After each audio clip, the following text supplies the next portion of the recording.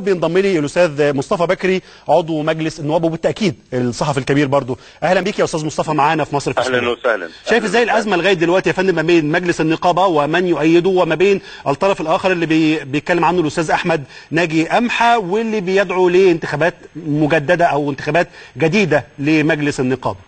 الحقيقة طرأ آه، موقف جديد اليوم آه، في لقاء ليا في البرنامج مع اثنين الاثنين اللي دخل اللي كانوا في حراسة نقابة الصحفيين.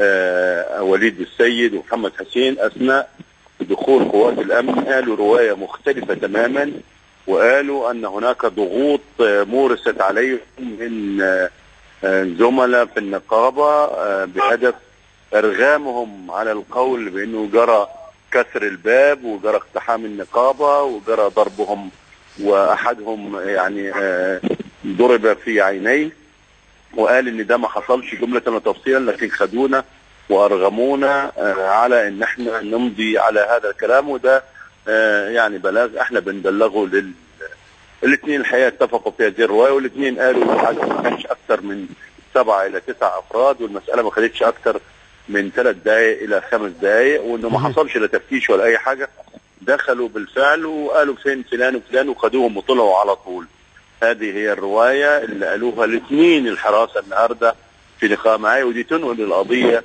لمرحلة جديدة وتؤكد إن إحنا كنا أمام عملية تدليس وتزوير ومحاولة للفتنة في أوساط الصحفيين بين وزارة الداخلية وبين أوساط الصحفيين. يعني بالشكل ده أنت مش شايف إن هو اقتحامي يا أستاذ مصطفى؟ لا ليس اقتحاما على الإطلاق. هذا تنفيذ لقرار النيابة العامة والطريقة اللي قالوا بها الزملاء تؤكد سوء النية للمسؤولين عن الأزمة الحقيقة مهم. طيب اسمح لي عودة ثانية مرة ثانية للأستاذ كارم محمود. أستاذ كارم